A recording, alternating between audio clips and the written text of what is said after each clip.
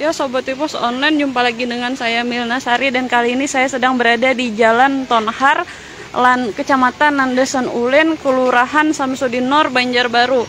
Nah, seperti terlihat ini uh, banjir di Jalan Tonhar ini setinggi paha orang dewasa ya.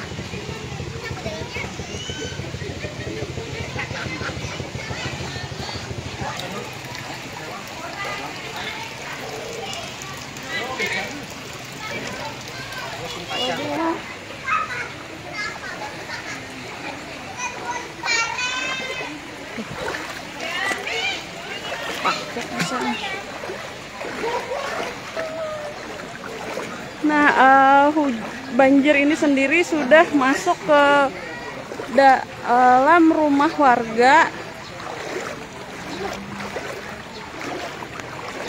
Uh, banjir sendiri diduga diakibatkan luapan Sungai Tonhar. Ya, betul.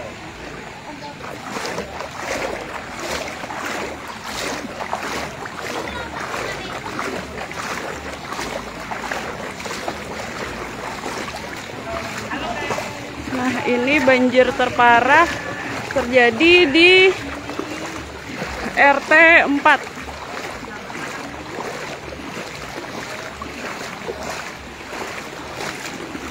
Pak, ini banjirnya sudah langganan setiap tahun ya? ya biasanya setiap tahun kalau hujan deras yang merata tuh banjir. Oke. Terus uh, ini berarti terdampaknya berapa RT, Pak? Dua. Ah, Dua tiga, tiga. Tiga RT. Dua, empat, sama tiga. Dua, empat sama tiga. Iya. Oh, berarti dua, tiga, empat ya? Iya. RW satu. RW satu. Oke. Eh, rumah yang terendam biasanya sekitar berapa, Pak? Ada banyak yang lantaran sungai ini aja yang terendam. Oh, Sekitar sungai. 10 mungkin. Ini penyebabnya apa nih, Pak? Ya, kalau hujannya merata luapan sungai Ton Harbour. Dan sumbernya cuma satu kan. Enggih. Dari dari mana-mana air datang semua ke sini. Oh, enggih. Dari bandara, dari seberang mm -hmm. semua datang sini. Iya, berarti air sungai Ton Harnya meluap ini ya, Pak ya? Meluap.